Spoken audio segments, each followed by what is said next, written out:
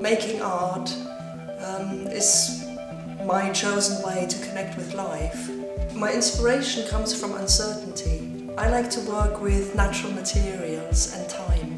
So for me, working with stone, which I've been doing for over 20 years now, has become more conceptual than it's ever been before. So I like to think about material as in the rock, where it comes from, how we walk over the earth, the people that have been taken it out of the ground. So all those things go into when I make a, a carving now.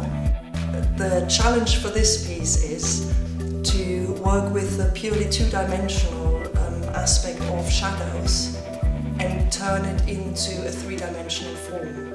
I work in silence so I can listen. I spend a lot of time observing and waiting for the next idea. I'm Ann-Margreth Bohl. I am an artist